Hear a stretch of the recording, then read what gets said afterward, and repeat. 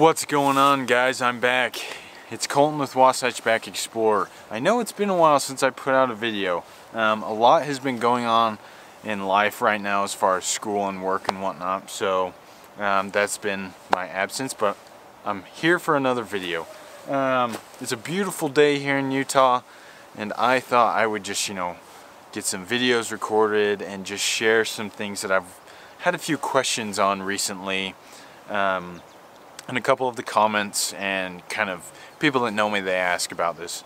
Um, but today's going to be more of like a gear review.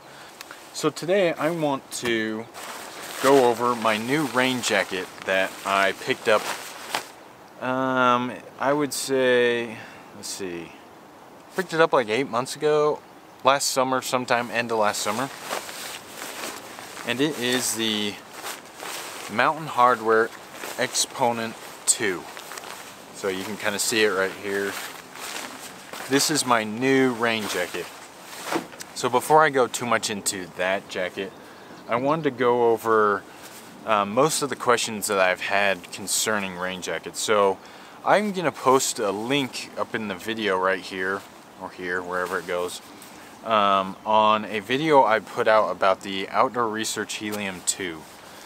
Um, and in that video I kind of dissed on, hated on, disliked, criticized, any of those, um, on this jacket. Um, and let me just briefly go over why. Um, the first reason is, is when I bought this rain jacket, it just felt like really just thin and flimsy and I honestly was like how is this gonna keep me dry but I was like hey a lot of people on like through hikes use this, especially on the Appalachian Trail, which the East Coast gets a ton of rain, a lot more than out here on the West Coast. Um, people swear by this, they recommend this up and down the board. I read thousands and thousands of articles, maybe not thousands, thousands, thousands is quite a bit, hundreds, let's go with hundreds, hundreds of articles and videos on the Outdoor Research Helium 2 jacket and people just swear by this thing. So I thought, what the heck, I need a new jacket, I'll give it a try.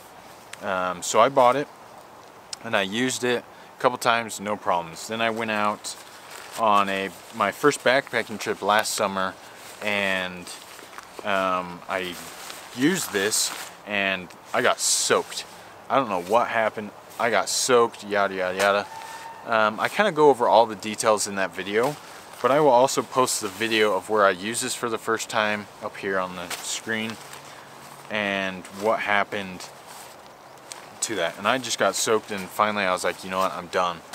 I don't want to get wet and I spent a lot of money and I was kind of pissed. So I reached out to Outdoor Research and asked, hey, like, did I do something wrong? Is it like a defect? Is there anything you can do? Like, what are your recommendations? Nothing nothing came from. And I thought, you know what?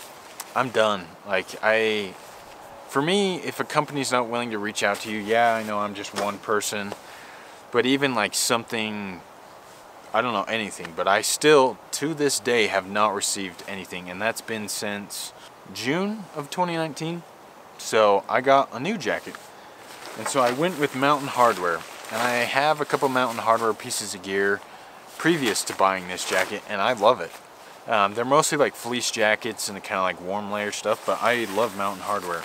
I've really liked them for a while and I've always kind of wanted to have a lot of their gear just because of the reputation that they have. So, like I said, this is the Mountain Hardwear Exponent 2. Now this is just like any typical jacket, um, you know, same style. It's a jacket. So let me go over some of the specs that are part of this jacket. So right now this jacket weighs 10.6 ounces. This is what Mountain Hardwear recommends. This is all off their website. So this jacket is 10.6 ounce, ounces. The Outdoor Research Helium 2, just for comparison, is 6.2 ounces. So this is, you know, four ounces heavier, which is fine for me. I That's not a big deal. Um, it is made from a 40D ripstop nylon. Um, And for those of you that don't know kind of like rain jackets or looking at a few rain jackets, there's like three categories of rain jackets. There's a two layer system, there's a two and a half layer system, and there's a three layer system. So your two layer systems are going to be your lighter weight jackets, your thinner jackets.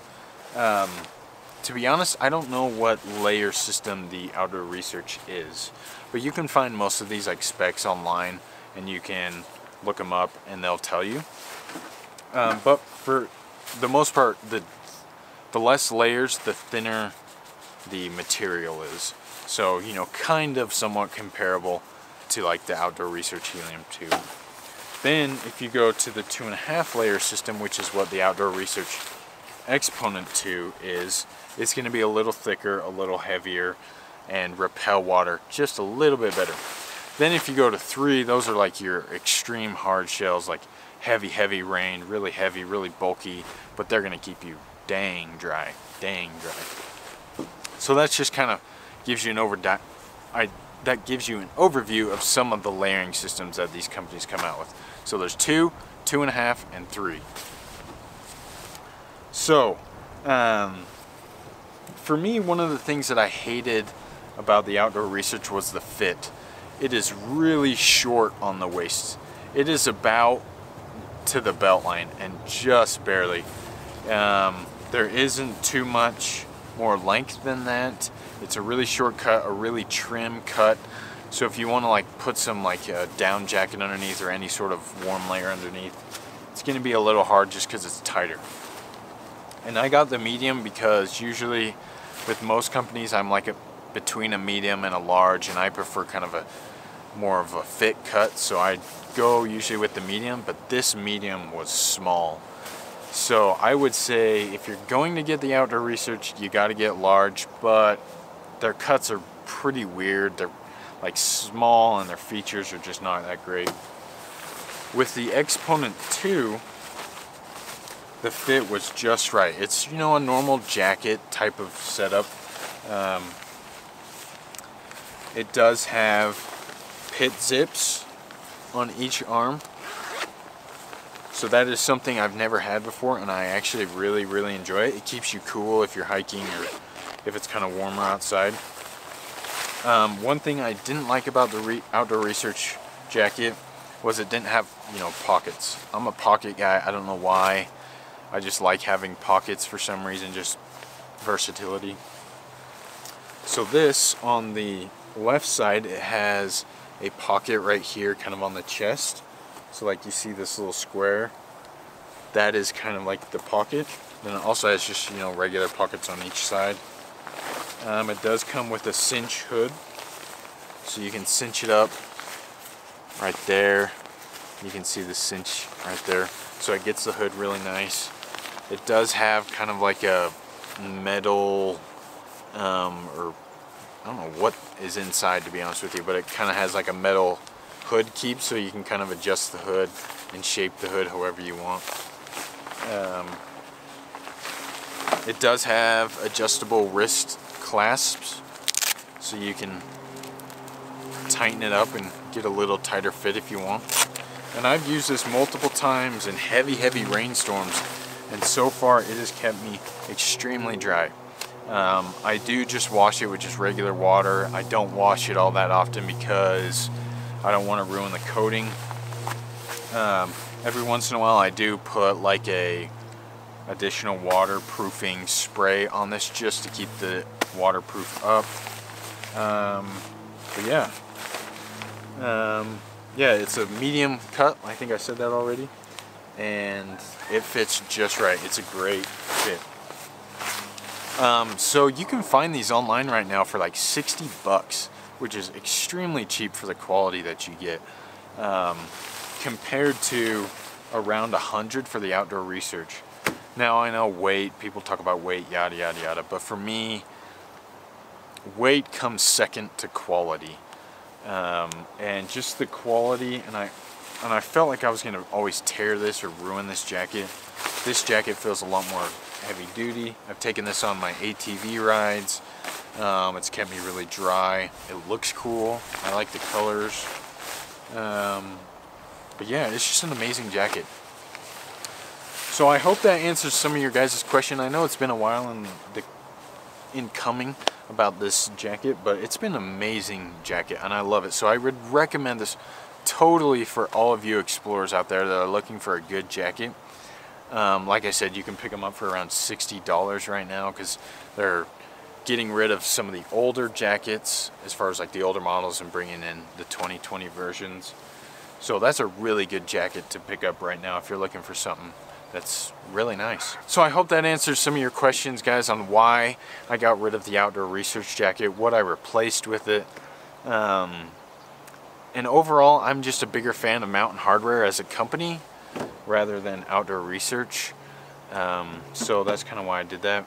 But to each their own, everyone likes their own gear for their own reasons. And you know, I'm no different. I like my own gear, my own, I like how do I want to say this? I like certain companies for certain reasons and other people like certain companies for certain reasons. So that is that. So I hope you enjoyed the video guys. There's going to be a lot more gear reviews like this. Um, it is becoming spring slash summer so it is getting awesome. I'm itching to get out right now. Um, I have a trip planned hopefully uh, next week. Um, we'll see stay tuned if you want to see where I go next week. Give you a little hint. It's going to be back in the hot tent. Um, so stick around for that. Thanks guys for watching. We'll catch you in the next video.